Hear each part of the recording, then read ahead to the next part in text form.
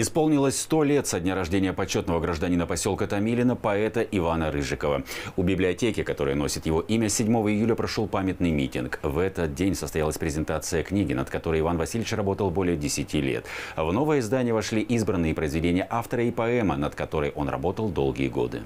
Когда сказали бы мне честно, что через час наступит ночь, что и наука бесполезна, что и слезами не помочь.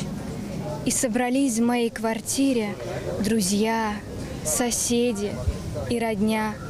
И та, единственная в мире, что столько мучила меня. Десятиклассница Анастасия Чевдарь познакомилась с творчеством Ивана Рыжикова, когда готовилась к конкурсу, посвященному столетию Ивана Васильевича. Поэтический марафон организовало Люберецкое отделение Союза женщин России. Настя вошла в число победителей. Было очень приятно познакомиться с э, творчеством нашего земляка.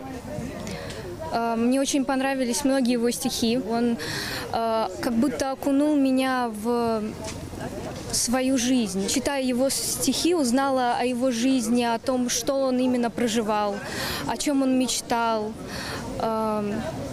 чем он жил на самом деле. Свои первые стихи Иван Рыжиков написал еще школьником. В июле 41 года попал на фронт, был связистом, участвовал в боях на Северо-Западном фронте, на Курской дуге, в Молдавии, Польше, Румынии и Болгарии. И всегда писал стихи. К Ивану Васильевичу часто обращались за профессиональным советом и начинающие поэты, и опытные мастера пера. В помощи не отказывал никому. Он всегда поддерживал, он всегда вразумлял, всегда направлял. Я видел, как, видела, как отрабатывалось каждое слово, искался образ очень тщательно, не ломая индивидуальности человека, стараясь в каждом выявить его творческую личность, все лучшие качества и поэта, и человека. Томилинской библиотеке на улице Пионерской Иван Васильевич был частым гостем. Здесь он встречался со школьниками и почитателями своего творчества. В прошлом году учреждению культуры присвоили его имя. В день столетия поэта около мемориальной доски собрались те, кто лично знал и любил знаменитого земляка. К людям всегда с открытой душой. К поэтам, которых он учил многому. Даже к тем, кто иногда нес околесицу, мы это умеем в стихах – он никогда не одергивал зло, никогда не принижал чужого таланта, а наоборот давал ему какие-то крылья, какую-то опору. Мы будем помнить о таких людях.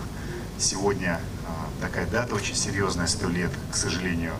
А, Иван Васильевич не дожил до этих дней, но опять же вот здесь присутствует и дочь.